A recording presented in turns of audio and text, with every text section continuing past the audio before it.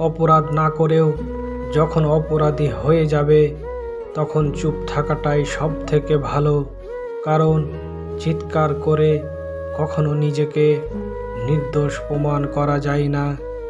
আড়ালে কাজের বিঘ্ন ঘটায়, কিন্তু সামনে ভালো কথা বলে, যার উপরে মধু, কিন্তু অন্তরে বিষ, তাকে পরিত্যাগ করা উচিত।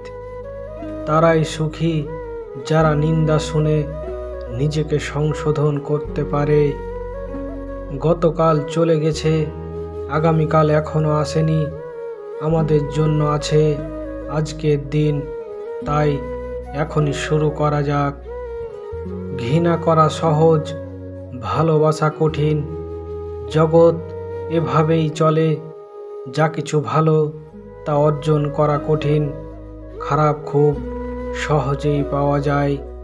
সত্যের জন্য সব কিছু ত্যাগ করা যায়, কিন্তু কোনো কিছুর জন্য সত্যকে ত্যাগ করা যায় না। পৃথিবীর সবচেয়ে বড় দূরত্ব কোনটি জানো? না, জীবন থেকে মৃত্যু পর্যন্ত। উত্তরটা সঠিক নয়। সবচেয়ে বড় দূরত্ব হলো যখন আমি তোমার সামনে থাকি, কিন্তু তুমি জানো না যে আমি তোমাকে কতটা ভালোবাসি। তুমি যদি ভেবে থাকো, তোমার মা বাবার চেয়েও তোমাকে অন্য কেউ বেশি ভালোবাসে, তাহলে বুঝে নিও তোমার মতো বোকা এই পৃথিবীতে আর কেউ নেই।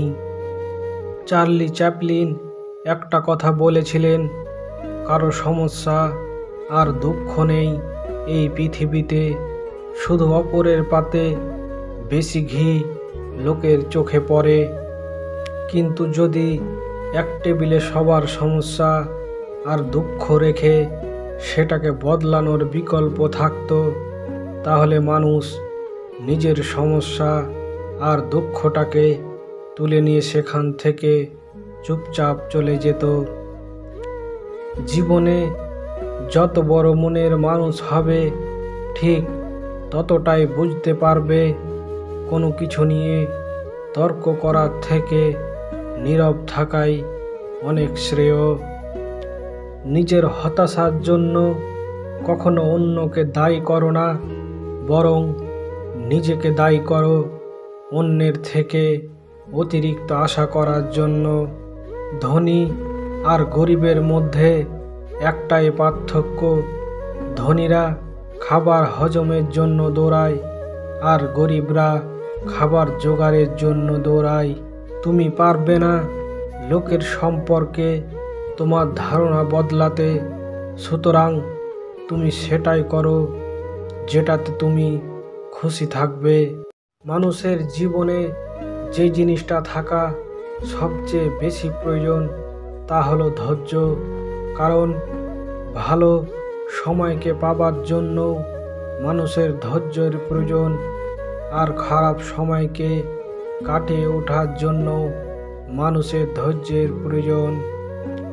আমি বিশ্বাস করি যে কেউ কিছু পাওয়ার উপযুক্ত হলে জগতের কোনো শক্তি তাকে বঞ্চিত করতে পারে না।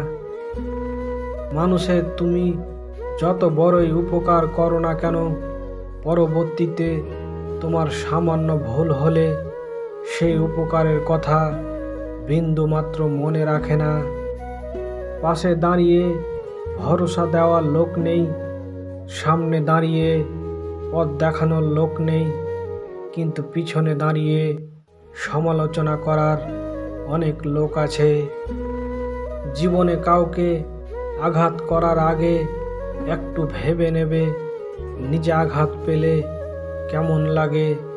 মনে রাখা উচিত, জীবনে কাউকে কাঁদিয়ে বেশি দিন ভালো থাকা যায় না।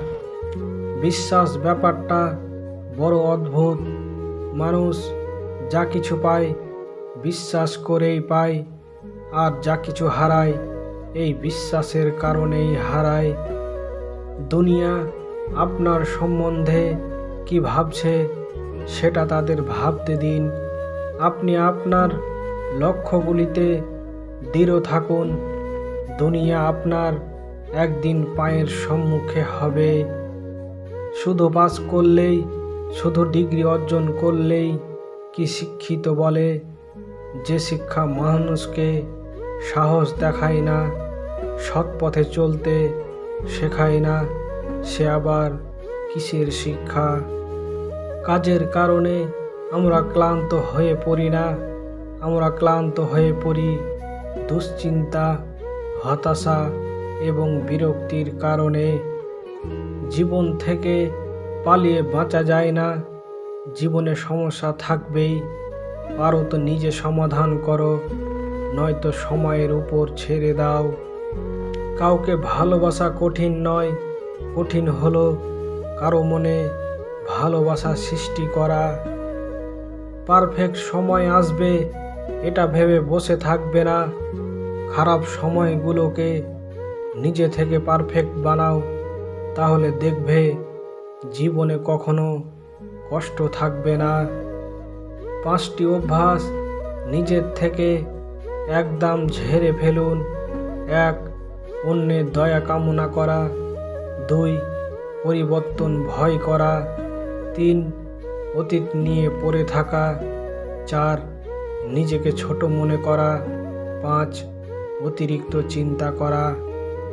জীবনে এই পাঁচটি জিনিস খুঁজে পাওয়া খুব কঠিন।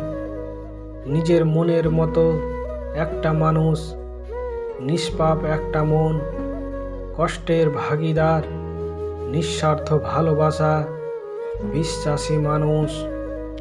বাহ্যিক চেহারা দেখে কখনো কাউকে বিচার করা ঠিক নয়।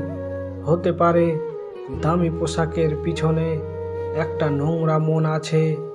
আবার হতে পারে নোংরা পোশাকের পিছনে একটি বড় মন আছে। অহংকার বলে দেই, টাকা কত আছে?